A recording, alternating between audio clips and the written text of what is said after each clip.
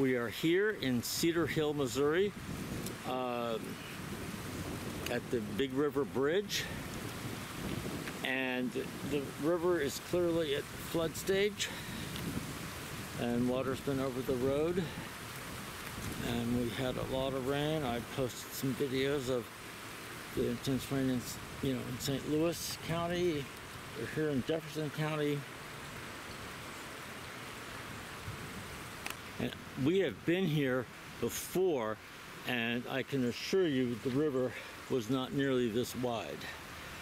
So it is exceptionally wide here.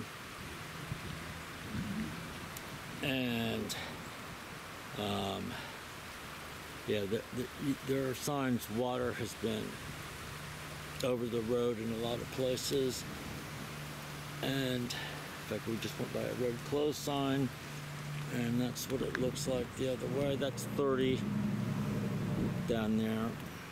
So we are just close to 30 in the town itself. And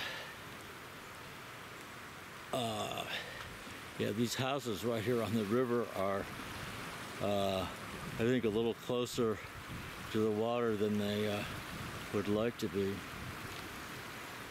But this is November 7th, Thursday.